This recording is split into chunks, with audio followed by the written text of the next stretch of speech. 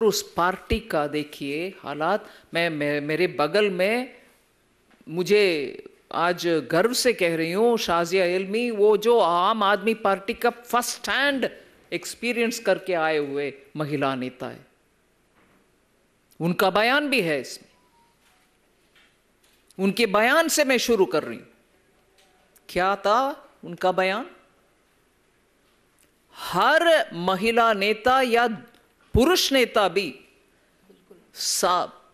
Simply बाहर निकालेंगे नहीं। बाउंसर से पिटवाएँगे या पिया से, उनके पीए से पिटवाएँगे। आदमी को जलील करके निकालेंगे। कोई सीधा रास्ता बाहर जाने के लिए नहीं है। और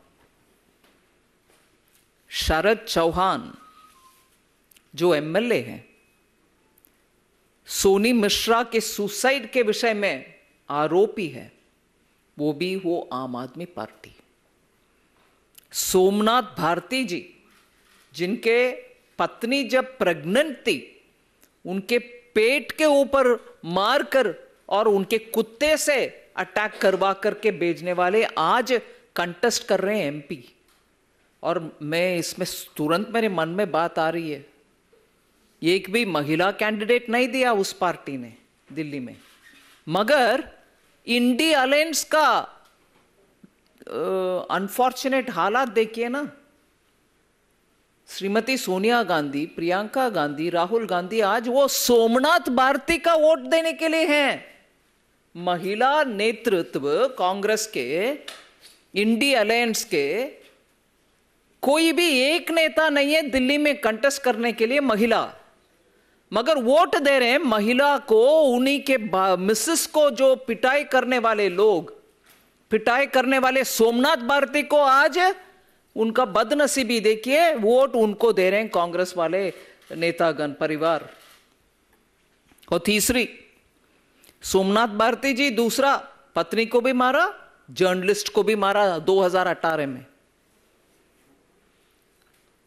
फिर अमानतुल्ला खान ओखला के एमएलए 2016 में जामिया नगर पुलिस स्टेशन के अंतर्गत केस फ़ाइल हुआ है सेक्सुअली हरासमेंट करने का आरोप के ऊपर।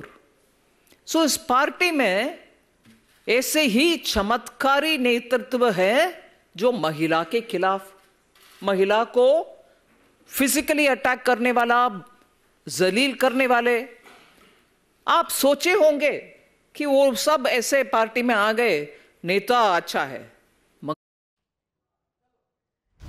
तो ये सबसे बड़ा मुद्दा बन गया है। निर्मला सीतारमण को आप सुन रहे थे, केंद्रीय मंत्री को उनका साफ़ तौर पर कहना है कि केजरीवाल की मौजूदगी में स्वाति मालेवाल के साथ केजरीवाल के आवास में बदसलूकी हुई। जवाबदेही तय होनी चाहिए। हमारे साथ दो सहयोगी इस वक्त जुड़ गए हैं। जितेंद्र भाटी हमारे साथ हैं और साथ ही हमारे साथ विवेक शर्मा भी जुड़ गए हैं। जितेंद्र, सबसे पहले मैं आपके पास आ रही हूँ। इस मामले में सवाल उठ रहा है, विभव कुमार कहाँ है?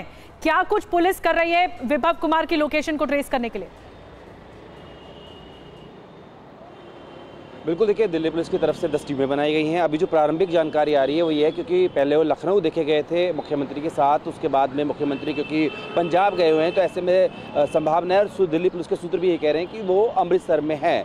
देखिए, बड़ी बात यही है कि इस मामले में देखिए, तेरह मई का पूरा मामला है और कई दिनों बाद यहाँ पर स्वाति मालीवाल ने चुप्पी तोड़ी अपना बयान दिया और बयान में उन्होंने कहा कि उनके साथ में मुख्यमंत्री के आवास पर जब वो बैठी हुई थी इंतज़ार कर रही थी मुलाकात के लिए तब उनके साथ में मारपीट हुई है। तो ऐसे में यहाँ पर क्योंकि जो मामला दर्ज किया गया उसमें धारा तीन सौ चौवन भी जुड़ी हुई है जो कि नॉन बेलेबल है तो ऐसे में जो विभव है उनकी गिरफ्तारी हो सकती है और उन्हें जो कोर्ट से ही जमानत लेनी पड़ सकती है। फ़िलहाल दिल्ली पुलिस उनका पक्ष फ़िलहाल जानने के लिए जगह जगह सर्च कर रही है और दूसरी तरफ़ देखें तो आम आदमी पार्टी की तरफ़ से जो अंतिम बयान था वो संजय सिंह का ही था। उसके बाद अभी तक कोई बयान सामने नहीं आया। इस मामले में कुछ नहीं बोला। जितेंद्र मैं आऊँगी आपके पास हमारे साथ विवेक शर्मा भी मौजूद हैं। विवेक, पुलिस अब 164 के तहत जज के सामने स्वाति मालेवाल का बयान दर्ज करवाएगी। इस मामले में क्या अपडेट मिल रहा है?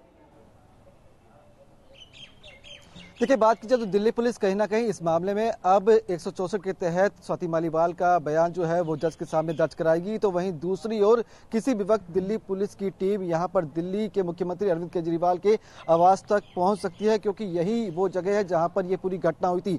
तेरह तारीख को स्वाति मालीवाल जब यहाँ पे आई थी तो उनका आरोप है कि अंदर विभव कुमार ने उनके साथ मारपीट की थी, उनके साथ बदसलूकी की थी। इसके बाद इस गेट से स्वाति मालीवाल बाहर निकलती है और ये जो रोड आप देख रहे हैं, यहाँ से करीब 200 मीटर तक वो पैदल जाती है और आगे जाकर ऑटो करती है। उसके बाद वो सिविल लाइन थाने पहुँचती है। वहाँ तकरीबन 10 मिनट तक रुकती है। पुलिस वाले को जानकारी देती है और कहती है कि बाद में शिकायत देंगी। इसके बाद कल दोपहर दो बजे दिल्ली पुलिस की टीम वहाँ पे उनके स्वाति मालीवाल के घर पहुँचती है। वहाँ पे स्वाति मालीवाल अपनी शिकायत देती है। तकरीबन साढ़े चार घंटे तक स्वाति मालीवाल के पास दिल्ली पुलिस की टीम वहाँ पे रही थी और उसके बाद उनकी शिकायत ली गई। देर रात इस मामले में एफआईआर दर्ज की गई और रात को स्वाति मालीवाल का तो महत्वपूर्ण करवाया जानकारी विवेक पहुँचा रहे हैं सीएम। आवास में कभी भी पुलिस इस वक्त पहुँच सकती है और ये जो जानकारी दे रहे हैं विवेक आप नज़र बना के रखिए